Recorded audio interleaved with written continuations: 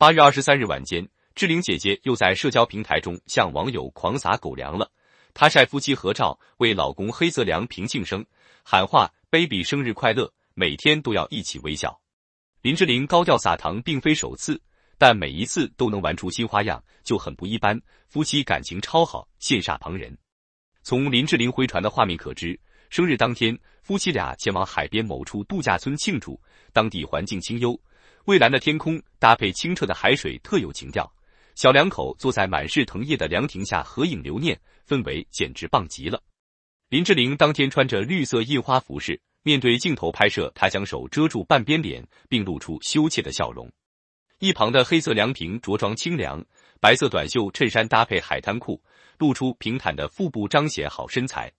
不得不说，黑色凉亭当下已经四十二岁了。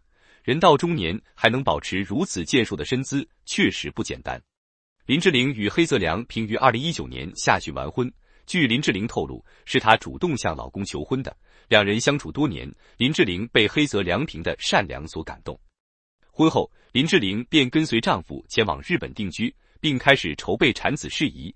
不过，这段过程比较艰辛，直到二零二二年初才顺利产下男婴。高龄产子让林志玲喜极而泣。发文宣布喜讯时，激动之情溢于言表。初到日本生活的林志玲很难融入当地的生活，周边朋友很少，独在异乡思乡之情难耐。此外，林志玲在日本也很难发展自己的演艺事业。去年九月份，她曾悄悄带着儿子、老公返回娘家暂住一段时间，一边照顾年老体弱的母亲，一边付出娱乐圈捞金。不过，已经年近半百的林志玲早已没了当年的人气，事业发展并不顺利。半年时间里，她仅拍摄几次杂志和节目演出，复出效果很不理想。前段时间，林志玲受邀录制由蔡康永录制的访谈节目，她在节目中正式宣布退圈事宜，并决定跟随老公回日本生活。林志玲给出的解释是自己年龄也不小了，而曾经一直给观众留下花瓶的印象。所以不希望将年老色衰的模样加深在大众心中，于是，在最好的年华退圈，算是一个明智的选择。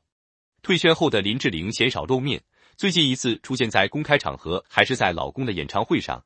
七月中旬，黑泽良平受邀前来台湾演出，林志玲当天乘机来台为老公打 call，并在友人的陪伴下品尝娘家美食。林志玲在黑泽良平的演唱会下化身小迷妹，全程卖力为老公助威。夫妻俩合体秀恩爱超甜。